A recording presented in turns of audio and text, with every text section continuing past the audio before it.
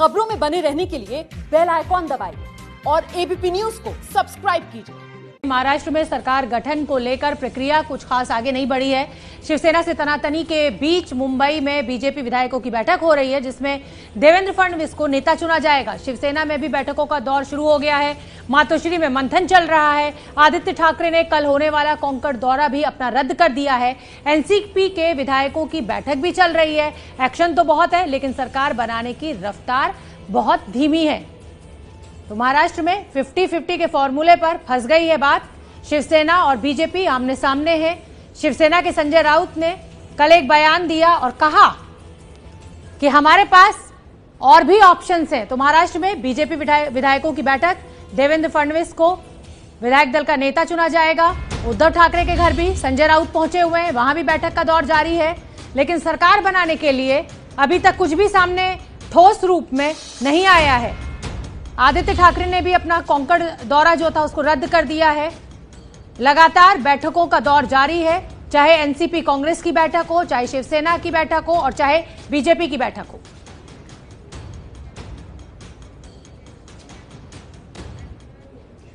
तो बिल्कुल शो अपना दोनों तरफ़ बैठकों का दौर चल रहा है और इस बीच घर के बाहर आदित्य ठाकरे को सीएम बनाने के पोस्टर तक लग गए हैं। आदित्य ठाकरे को मुख्यमंत्री बनाने की मांग कार्यकर्ताओं की तरफ़ से की जा रही है। यानी कि शिवसेना ने अब भी छोड़ा नहीं है सीएम का दावा। ढाई साल के लिए मुख्यमंत्री की मांग पर अड़ी हुई है और इस सबके बीच आदित्य ठाकरे के पोस्टर घर के बाहर तक लग गए हैं। सीएम बनाने की मांग के साथ।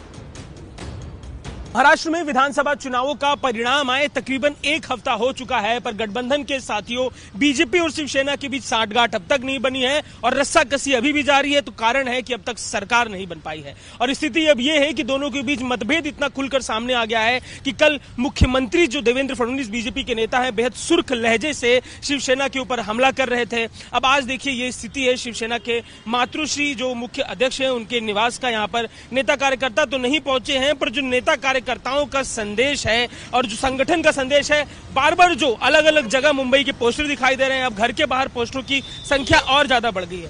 कल तक केवल एक पोस्टर होता था, जिस पर लिखा रहता था कि सीएम बने, इस बार आदित्य ठाकरे पर आज तकरीबन चार पोस्टर यहाँ पर दिखाई दे रहे हैं और संदेश स्पष्ट है कि इस बार आदित्य साहब ठाकरे को मुख्यमंत्री बनाया जाए शिवसेना की तरफ़ से। फिफ्टी फिफ्टी को लेकर जो रंज है, अभी भी जारी है। बीजेपी और शिवसेना के बीच में, बीजेपी की तरफ़ से आज विधायक दल की बैठक का आयोजन है। शिवसेना की तरफ़ से अभी भी कुछ स्पष्ट नहीं हो रहा है और जो महाराष्ट्र की जनता है, वो इंतज़ार कर रही है कि जल्द से जल्द सरकार महाराष्ट्र में बने। कैमरा पर्सन गजानन के संग अजय दुबे, बीपी न्यूज़, मुंबई। तो अमानरा शिवसेना के संजय राउत ने कहा कि हमारे पास और भी ऑप्शंस मौजूद हैं। इस पर बीजेपी नेता सुधीर मनगंटीवार ने कहा कि शिवसेना को मीडिया में बयानबाजी करने की बजाय बीजेपी से सीधी बातचीत करनी चाहिए। देखो, फार्मूला जो होता है ना, वो प्यार मोहब्बत का होता है। फार्मूला जो होता है, वो विश्वास का होता है। आंकड़े आते हैं, जाते हैं, आंकड़ों में मत जाइए। प्यार से शिवसेना, भाजपा की चर्चा होगी और चाय के मिठास के साथ ही ये चर्चा भी समाप्त होगी। सरकार बनेगी और जनता के जीवन में मिठास गाने के लिए हम सब मिलकर काम करेंगे। अभी कोई चिंता नहीं है चर्चा शुरू हो जाएगी। और शोभना सबके बीच बीजेपी के विधायक दल की बैठक भी शुरू हो गई है और विधायक दल की बैठक में बीजेपी के विधायक इस संकल्प के साथ पहुँचे कि सीएम फडणवीस ही होंगे। देखो पूरे दल के मन में और पूरे महाराष्ट्र के मन में एक ही नाम है और वह नाम है देवेंद्र फडणवीस जी।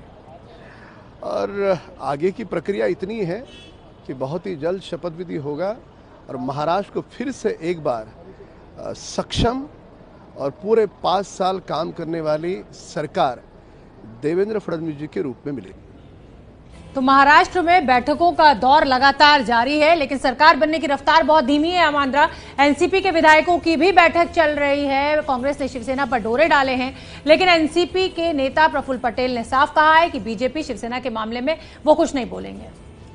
शिवसेना को सरकार बनाने का मैंडेट महाराष्ट्र की जनता ने दिया है, और उन्होंने, सरकार दोनों ने मिलकर बनाना चाहिए।